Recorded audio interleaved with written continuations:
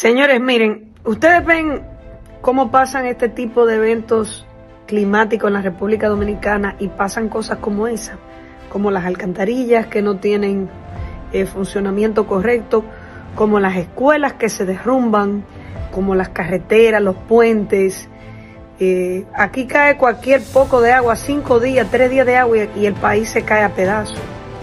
Pero nosotros como ciudadanos solamente miramos cuando pasan estas situaciones. Pero no somos capaces de cuestionar los ministros de obras públicas que hacen esa porquería de puente, esa porquería de carretera y esa porquería de escuela. Pero lo peor y lo más grave de todo esto, y yo quiero que usted me comparte el video, esto aparentemente ha pasado en, el Santo Domingo, en la Gómez. Ahora bien, yo quiero que tú reflexiones en lo profundo de tu corazón. Merecemos nosotros ese tipo de gente que construye de manera irresponsable para robarse el dinero de nuestros impuestos y que cuando pasen esas tragedias en cualquier cambio climático o situación que le caiga al país, simplemente nos lamentemos de las personas que quedan atrapadas, de los niños que se mueren, de que se cayó el puente, de que se rompió la carretera y de que se derrumbó la escuela y no pasa nada. Nadie cae preso, no hay un proceso judicial, no se investiga, no se hace un análisis forense para ver eh, cuánta viga le faltaban, si la construcción tenía la varilla que debía tener. Eh, ¿Por qué no hacemos eso? ¿Por qué simplemente nos lamentamos y decimos, eh, pobrecita las personas que se murieron y el dolor de los familiares?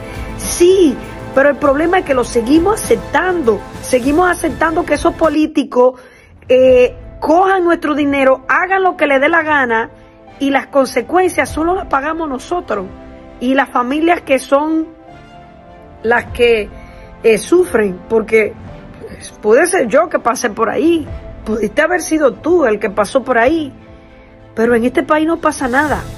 Los políticos aquí, los ministros hacen y deshacen, se roban el dinero de la varilla, del cemento, de la obra, de la mano de obra barata, y aquí nadie cae preso, y aquí nadie le pasa nada. Pero lo peor es que nunca, nunca es a uno de ellos, a un familiar de ellos que se derrumba el puente. Nunca es la escuela que le cae arriba a uno de los hijos de ellos porque ellos no, no estudian en esa escuela. Y no sé, tendrán algún santiguado raro que nunca es a ellos que le pase esa cosa de la porquería que ellos hacen aquí en el país. Porque transitan por la misma calle, transitan por los mismos sitios. Obviamente sus hijos no van a las escuelas que van a ir los hijos de usted. Pero no pasa nada en este país. No pasa nada. Tiene que empezar a pasar cosas en este país. Y usted tiene que empezar a exigir que se haga justicia real. Y que el que construya un puente mal, una escuela mal, esa persona coja cárcel y se pudra ahí, podrido por ladrón. Necesitamos cambiar este país, señores. Pero no podemos pensar solamente en el momento cuando nos pasan las cosas. Tenemos que pensar antes de que nos pase. Y exigir a quien sea que esté ahí que haga las cosas bien, que la construya bien. Y que deje de robarse nuestro dinero. Y que si se lo roba, que se atenga las consecuencias. Porque nosotros mismos lo vamos a meter preso. Y vamos a hacer que cumplan con lo que tienen que cumplir. que ser funcionarios públicos de calidad.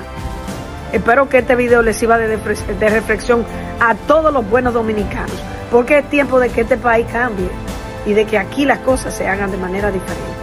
Y que de línea ascensión y toditos los ministros que han estado ahí manejando las cosas públicas paguen las consecuencias de todo lo que están haciendo mal en este país.